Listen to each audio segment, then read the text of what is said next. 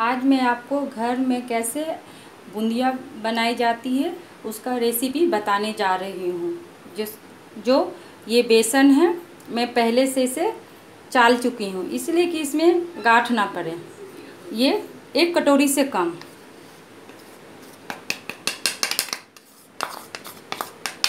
उसके बाद थोड़ा सा बेकिंग सोडा। आ ये रही पानी। जो आपको जितना आप बेसन दे रहे हैं, उसका तीन चौथाई आपको इसमें पानी लगेगी। आपको इसी का पानी से ही आपको ये करना है। अगर ज़्यादा पानी हो जाएगा तो बूंदिया अच्छी नहीं, अगर कम होगी तो अच्छी नहीं। इसका बेटर आप बहुत ध्यान से आपको करनी होगी।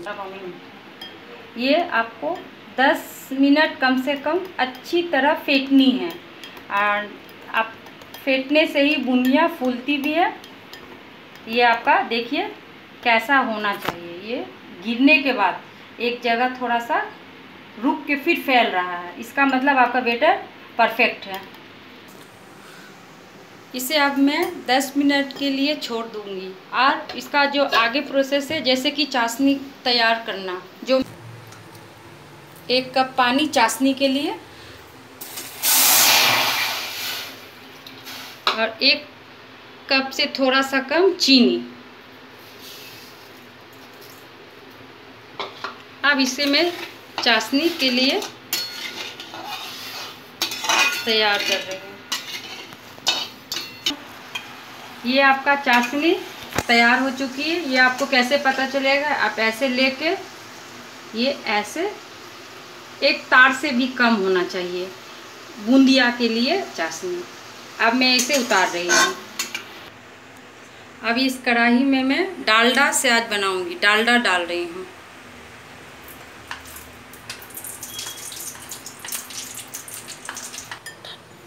ये आपका बेटर परफेक्ट हो चुकी है। अब इसे मैं बूंदिया तलने जा रही हूँ। अब मैं इससे बनाऊँगी, जो प्रत्येक घर में ही पाया जाती है ये ये आपको।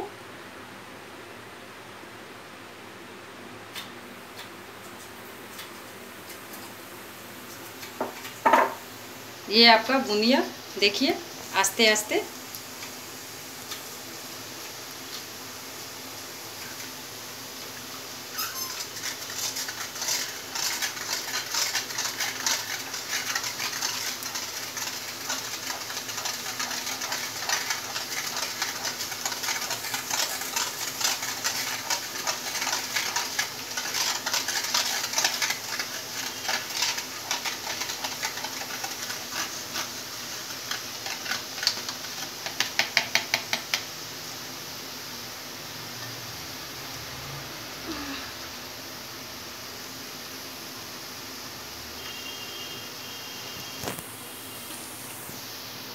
ये आपका देखिए। बूंदिया परफेक्ट हो रही है। अब देखिए ये, पाँच मिनट फ्राई करने के बाद ये कुरकुरापन आ गया है इसमें। अब मैं इसे निकाल के चाशनी में डालूँगी।